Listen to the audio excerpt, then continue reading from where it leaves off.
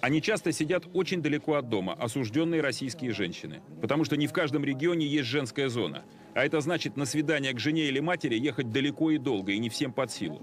И значит, что некоторые из этих женщин своих детей не видят годами. 35 женских зон России. Все общего режима только. Это и хорошо, и плохо. Плохо, потому что сидят все вместе. Рецидивистки и девчонки-первоходки, мелкие воровки и матерые уголовницы. Для меня это самое страшное, это разлука со своими детьми. Это вот болезнь моя, это для меня очень страшная. А эта болезнь равносильна и к смерти. Просто, я думаю, я, наверное, не выдержу это все. Анне сидеть особенно трудно, у нее диабет, нужна диета. Она сидит почти два года за наркотики. Конечно, говорит, что ее просто подставили, наркоту подбросили. Но если слушать только заключенных, поверишь и в то, что в тюрьме вообще сидят все сплошь невиновные. Скорее всего, Анну тяготит не это, а то, насколько ее жизнь это отличается от жизни прежней. Жизни педагога и военной медсестры в Афганистане. Мы все женщины, но мне лично очень приходится трудно найти общий язык, понять. Я очень такая доверчивая. Вот мне 47 лет, и я все равно доверяю до сих пор всем. Но здесь очень трудно довериться. И как-то мне очень трудно приходится здесь.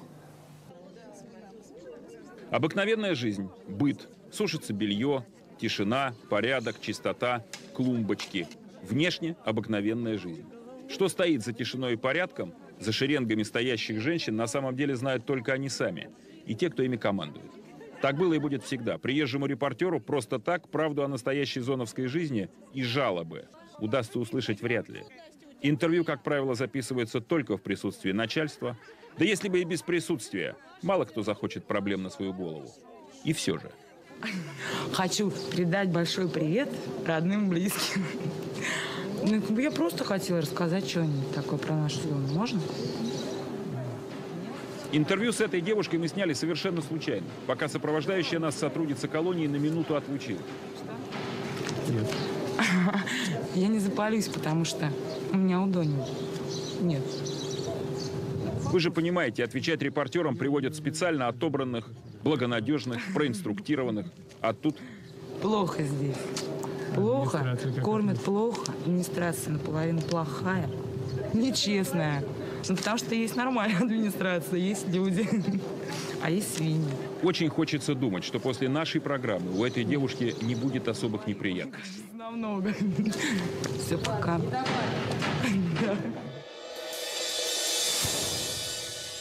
Товарищи, товарищ Ленин расчистил путь женщине, а товарищ Сталин дает большую возможность проявлять большую энергию, инициативу в строительстве нашего с наступлением светлого социалистического завтра женщин уравняли в правах с мужчинами, в том числе и заключенных женщин. Теперь они точно так же работают на самых тяжелых работах, на великих социалистических стройках, ровно в тех же условиях, что и мужчины. Только переносят их гораздо хуже. Чаще кончают с собой, чаще дерутся и даже убивают друг друга. Умирают от кровотечений. На солнце все сгорело, абсолютно все платья, все. Мы ходили, страшно вам сказать, в каких-то трико и в лифчиках. Ничего не осталось просто а, вообще. И когда нас вели с работы, и вот люди, которые жили там, в этом тоже поселок, они останавливались, и то бросят огурец какой-то. Ну, хлеба нет, конечно, хлеб. Они сами нуждались. Но вот что-то или что-нибудь бросали просто вот так. И мы ловили. Тамару Питкевич, 22-летнюю девчонку, арестовали в 43 году. После допросов в НКВД она получила 7 лет за контрреволюционную агитацию и пропаганду. Сначала были безводные казахстанские степи, а потом повезли на север, в Коми, валить лес. Весь состав стучал в стенки и кричали «Хлеба, хлеба, хлеба, дайте хлеба». верните наш хлеб, дайте хлеб. Бегало начальство, и вдруг вот со стороны этого эшелона, который ехал на фронт, состав этот шел на фронт, выскочили военные. Они кричали на начальство, значит, верните с хорошими словами, верните, дайте, где хлеб, где хлеб. И начальство там уже перебежало к ним, и мы только слышали, что они ему, им говорят, вы не знаете, кого вы защищаете, вы не представляете, это преступники, о ком вы, значит. И они кричали, особенно один, совершенно сорвавшимся истерическим голосом. Он кричал, мы едем на фронт защищать наших матерей, наших жен в этом составе. Может быть, кто-то из них верните хлеб. Так мы разъехались. Рассказывая о лагерных годах, Тамара Владимировна почти никогда не плачет. Только когда вспоминает вот этого военного.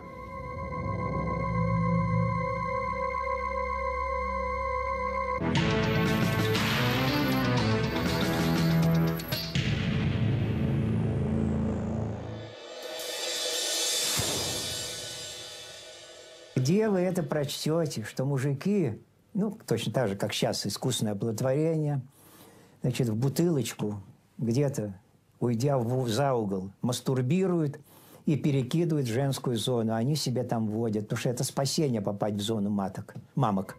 Маток, я грубо сказал, я не хотел этого сказать, мамок. Это было спасение. Ради этого шли на все, даже на то, что вызывало презрение и ненависть у других женщин, на связь с лагерными охранниками. Терпели изнасилования, иногда даже не зная, от кого им предстоит родить ребенка, шли на все, лишь бы родить. Это давало лишний шанс. Детей неплохо кормили. Они были неплохо одеты. У них были игрушки. Все бы хорошо, только мамы не было. И дети эти, их полагалось отдавать детдом в два года. Как правило, все старались их задержать.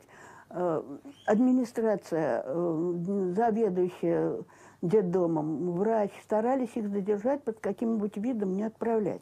Особенно если известно было, что мать скоро освободится. И вот такой ребенок, там, трехлетний, к нему приходит мать тайком. И вдруг он видит э, надзирателя за окном. Он кричит, мамка, лезь под кровать, вертуха идет, шмон будет. Вот первые слова, которые они знали, вертухай, шмон.